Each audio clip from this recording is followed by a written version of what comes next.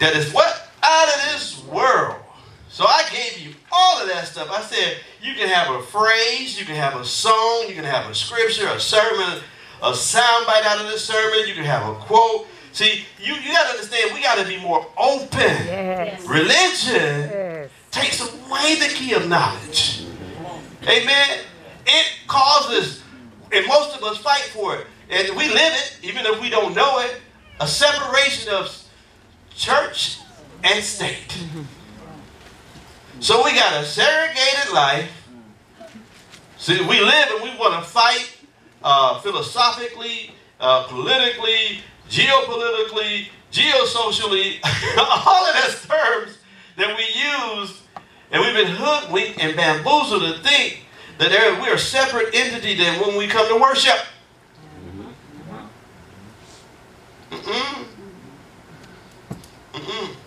Don't study to preach. I study to live. I don't pray because I'm coming to corporate prayer. I pray because it causes me to live. That's in my DNA. So I come to corporate prayer because that's what I enjoy because that is my DNA. I don't, you know what I'm saying? And I was doing that before I got up here. Because if I had some of those hangups when I was out here, this up here would go up in smoke. I would have quit a long time ago. Yes. But there's no separate. There's, it's not, it's not, it's- you know what I'm saying? I don't have a. My private life and my public life is one. Mm-hmm. Yeah. Mm-hmm. Well, you just don't know I'm busy. Who cares? I can see it. I can see it. I can look. We, we-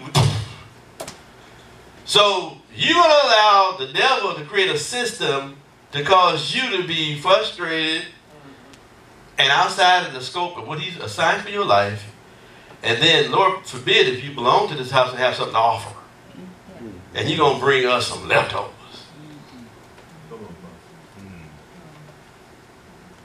That's crazy to me. He should, he should get the first fruits. Mm-hmm. He should get the best of everything. God forbid we get up here and teach and we ain't studied or about it or lead in worship. How we gonna lead in worship if we're not a worshiper? That's crazy. It ain't like we don't know it. I know when you've been with God. We know when you've been with God.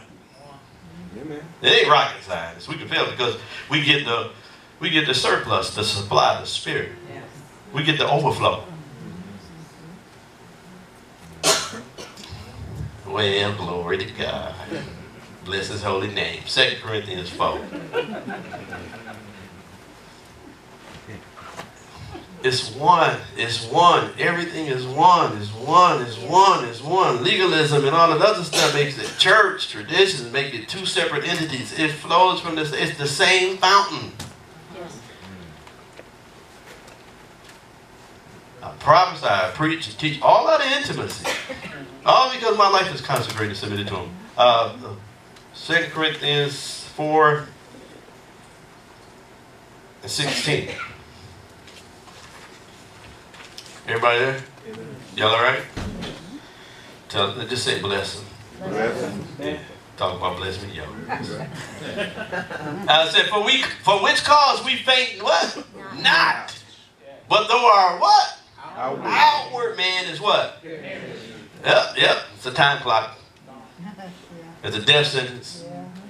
We trying to keep it alive. God already said within that hour, man, the man you used to be before you knew him, is dying. Mm-hmm.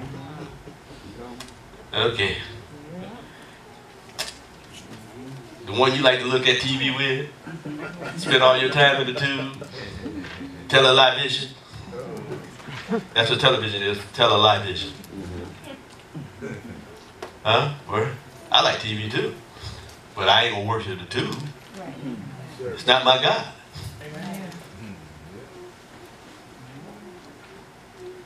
Oh my God.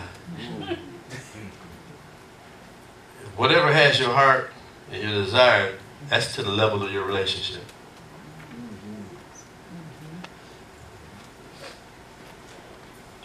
You can only live on what you know. Amen. All right, let me get over. For which cause we faint not, but though our outward man perish, yet the inward man is doing what? Renewed Day by what? day. It's being renewed what? Day by day. So there's something beneath the surface that's actively working on your behalf. That's, that's void of your senses. God placed a DNA on the inside of us, a divine nature activated inside of us. And it's the ministry of the Holy Spirit to bring it to fruition. Yes. Mm-hmm. Amen? So we just can't have our allegiance to the external man. Mm-hmm. So we need to know there's some things that God has for us internally. Yes. Y'all got that? Mm-hmm. So, that this was Passion Bible says, so no wonder we don't give up, for even though our outward person gradually wears out, our inner being is renewed every single day. We say, God, daily load us with benefits. That's the scripture, right? Remember the Lord's Prayer? Give us this day our daily bread. So we have an expectation because that's what disciples do. True disciples do spend time with the Master or to spend time with Jesus. They have those intimate moments with Him. Look at look at 17. It says, For our light affliction is but for a moment, working for us a far more exceeding and eternal weight of glory. So there's a system, there's an hmm. order, there's a cosmos that's antithetical to God's expectations.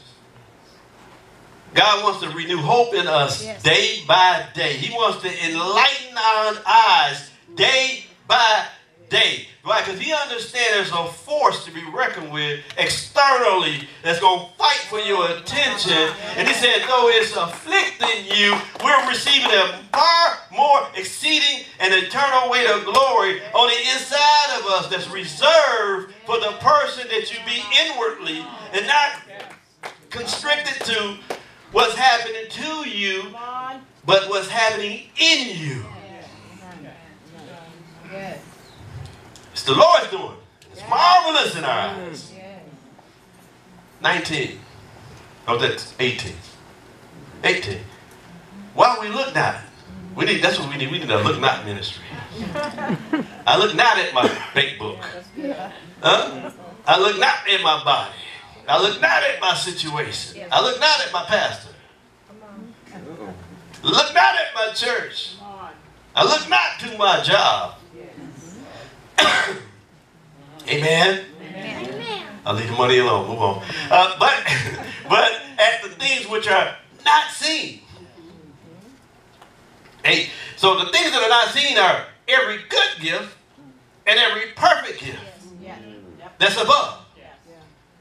Things that are reserved, assigned in my life by the by God's divine providence, His expectation for my life. The thing that I said that's hidden in us. Remember we talked about it all started. He's working in us. He's doing things in us, and it- and so there's some things that my, I cannot uh, discover it by natural means. You can't touch it. You can't get it in academia. You can have a PhD, DDS. Amen? You, you can have all those different things attached to your name, but that doesn't mean you're going to be able to tap into what's unseen. Right? And it said, For the things which are seen are temporal, but the things which are not seen are eternal. Eternal, temporal. Is, it, is that the problem? Is the temporal more important than the eternal? Uh oh. Y'all, y'all all right? What I said there? Is it, is it, is it what? More important? Because we giving more credence to temporal things than we are to eternal things.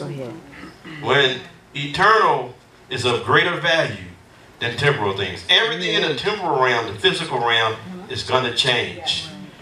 It has a death sentence on it. As much as we hate to think about it, 40 years from now, most of us ain't gonna be here. Mm-hmm. And some of us will. But it has a death sentence on it. So we have to make sure we walk in wisdom, redeeming the time. And this is the luxury we have, not just this local assembly, but other churches of like precious faith.